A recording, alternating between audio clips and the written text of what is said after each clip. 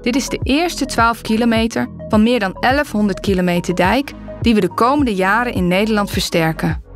Om de sterkte van de dijken en specifiek deze dijk nauwkeurig te bepalen, gaan we hier 12 jaar lang golven en waterstanden meten. Zo kunnen we slimmer investeren in onze waterveiligheid. Vandaag bootsen we een storm na om deze golfbakken te testen.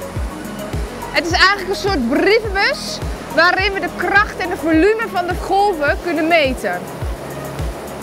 En dat doen we vandaag met 4000 liter water.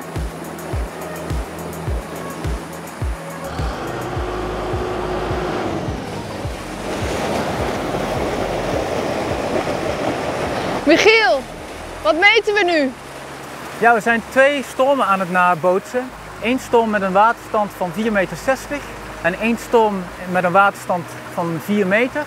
En in deze bakken die uitgerust zijn met sensoren meten we het volume water wat bij iedere golf naar boven komt, de dijk op. Op die manier kunnen we dan de sterkte en de hoogte van de dijk eh, bepalen. Die metingen die doen we real-time met, uh, met sensoren en die koppelen vervolgens met de metingen die we hier in de Eemsdollet uh, aan het uitvoeren zijn.